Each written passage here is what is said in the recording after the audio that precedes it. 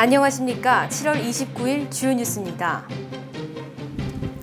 국회 세월호 국정조사특위가 다음 달로 예정된 청문회 증인 채택 문제를 놓고 연일 파행을 거듭하고 있습니다. 세월호 침몰 현장에 가장 먼저 도착하고도 소극적인 구조 활동을 벌인 목포 해경 경비정 책임자가 체포됐습니다. 석 달 넘게 행방이 묘연했던 유병헌 씨의 운전기사 양회정 씨가 검찰에 자수했습니다. 소비자원에 접수된 이동통신 3사의 서비스 관련 피해 구제 건수가 1년 새 6.9% 증가했습니다. 기업들의 체감 경기 전망이 6개월 만에 최저치를 기록했습니다. 국회 세월호 국정조사 특위가 다음 달로 예정된 청문회 증인 채택 문제를 놓고 연일 파행을 거듭하고 있습니다. 국정조사특위 새누리당 간사인 조원진 의원과 새정치연합 간사인 김현미 의원은 오늘 오전 세월호 청문회 증인 채택을 위해 만났지만 이견만 확인한 채 5분도 안 돼 헤어졌습니다. 여야는 김기춘 청와대 비서실장과 정호성 청와대 비서관의 증인 채택 문제를 놓고 3일째 합의를 이루지 못하고 있습니다. 세월호 침몰 현장에 가장 먼저 도착하고도 소극적인 구조 활동을 벌인 목포 해경 경비정 책임자가 체포됐습니다. 광주지검 해경수사 전담팀은 오늘 새벽 3시쯤 목포 해경 123정 정장 A경위를 긴급 체포해 조사하고 있습니다. A경위에게는 공용서류 손상과 허위 공문서 작성 등의 혐의가 적용됐으며 세월호 구조를 위해 출동할 당시에 근무 일지를 일부 찢어버린 뒤 새로운 내용을 적어 넣은 것으로 알려졌습니다.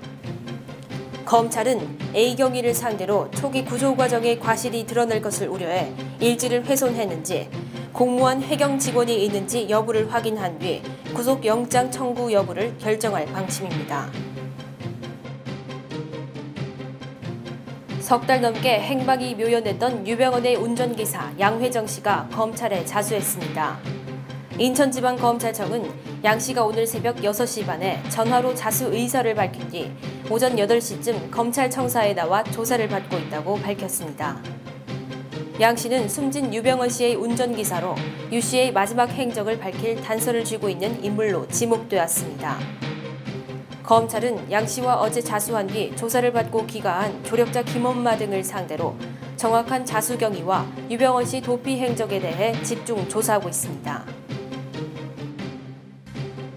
지난해 한국소비자원에 접수된 이동통신 3사의 서비스 관련 피해 구제 건수는 모두 667건으로 지난해 2012년보다 6.9% 늘어난 것으로 나타났습니다. 계약 내용을 이행하지 않아 발생한 피해가 294건으로 전체의 44.1%를 차지했고 통화 품질과 인터넷 연결 상태 불량이 15.7%, 요금 과다 청구 14.5% 등이었습니다. 계약 내용 불이행 피해는 계약할 때 약속한 단말기 할부금 또는 위약금을 지원하지 않는 사례가 가장 많았습니다. 가입자 100만 명당 소비자 피해 구제 건수가 가장 많은 통신사는 21.4건인 LG U+였고 이어 KT, SK텔레콤 등의 순이었습니다. 기업들의 체감 경기 전망이 6개월 만에 최저치를 기록했습니다. 전국 경제인 연합회는 매출액 기준 600대 기업을 대상으로 실시한 기업 경기 실사 지수 BSI 조사 결과 8월 종합경기 전망치가 91.6으로 6개월 만에 최저치를 나타냈다고 밝혔습니다. 정경련은 경기 전망이 어둡게 나온 이유로 경제 성장률 둔화와 내수 경기 부진, 소비 심리 위축, 주요 기업의 2분기 실적 부진 등을 꼽았습니다. 지금까지 7월 29일 주요 뉴스 브리핑 정우인이었습니다.